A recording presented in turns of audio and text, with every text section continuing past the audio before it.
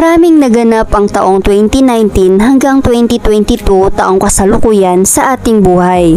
Bukod sa kasagsagan ng panahon ng pandemic, ito rin ang panahon na natuto tayong magpahalaga sa ating kapaligiran, kalusugan at lalong-lalo na sa ating pamilya. I know you told your friend you're Magandang araw mga ka-dreamers at hangad ko po ay nasa mabuti po tayong kalagayan at malayo sa anumang sakit at kapahamakan. Nagbabalik na naman po ang ating channel para magbigay ng isang nakakamangha at nakaka-inspired na story behind na tsaka'y kapupulutan po natin ng aral at inspirasyon sa buhay. Kaya't stay tuned ka lang dyan ka-dreamers para makakuha ka din ng idea at design ng bahay if ever ganitong style din ang bet mong ipagawa balang araw.